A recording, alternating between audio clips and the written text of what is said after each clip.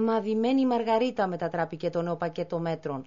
Από αναβολή σε αναβολή οδηγεί την εξαγγελία του η έντονη διαφωνία του ΑΚΕΛ και η στεναρή αντίσταση του συνδικαλιστικού κινήματος.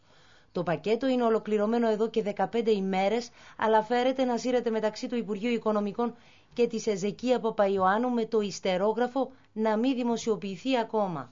Είπαμε ότι δεν θα ληφθούν μέτρα. Πολύ σύντομα θα έχουμε και το νέο πακέτο μέτρων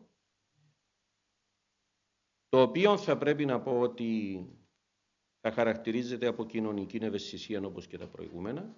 Εκνευρισμός επικρατεί στο μεταξύ στο οικονομικό επιτελείο της κυβέρνησης, καθώς την ερχόμενη εβδομάδα η Κύπρος θα κληθεί από τις Βρυξέλλες να αναφέρει την πρόοδο που έχει επιτευχθεί στο πρόγραμμα σταθερότητας, βασικός πυλώνας του οποίου είναι τα νέα μέτρα.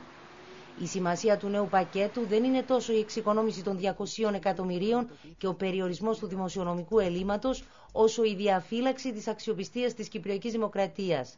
Στα πλάνα Σαρλί είναι να χρησιμοποιηθεί ως διαπραγματευτικό χαρτί κατά τη διαβούλευση των όρων ένταξης της Κύπρου στο μηχανισμό στήριξης.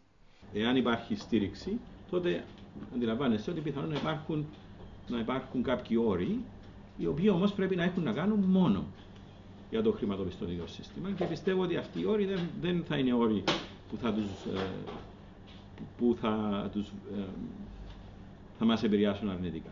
Πάντως, ο διοικητής της Κεντρικής Τράπεζας, ο οποίος ολοκλήρωσε σήμερα τον κύκλο επαφών του με τους αρχηγούς των κομμάτων, χαρακτήρισε κόκκινη γραμμή το ζήτημα του εταιρικού φόρου, διαβεβαιώνοντας ότι στόχος είναι να μην διαφοροποιηθεί σε περίπτωση ένταξής μας στο μηχανισμό σίγουρα θα το πολεμήσουμε αυτή, αυτόν τον όρο που χρειάζεται, που, που, ε, που χρειάζεται. Αλλά σίγουρα είναι ένα, ένας στόχος ο οποίος ε, ε, μπορεί κάποιος να τον θεωρήσει κόκκινη γραμμή για μας. Τη θέση αυτή δεν εστερνίζεται ωστόσο ο Γενικός Γραμματέας της Πασιδή. Εγώ και με το εταιρικό φόρο διαφορό διακή το 2011 θα φύγουν όλες οι εταιρείες από την Κύπρο. Αυτή είναι η διαφορά μας. Το συνδικαλιστικό κίνημα προβάλλει στεναρή αντίσταση σε νέα μέτρα, τονίζοντας ότι δεν δικαιολογούνται.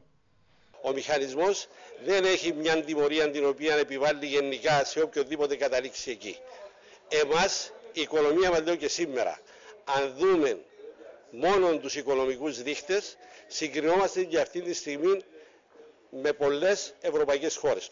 Στο μεταξύ κατατέθηκε το μεσημέρι στη Βουλή το νομοσχέδιο για ισοσκελισμένους προϋπολογισμούς και ψηφίστηκε ομόφωνα το απόγευμα η αλλαγή της συνθήκης της Λισαβόνας για μετατροπή του μηχανισμού στήριξης σε μόνιμο.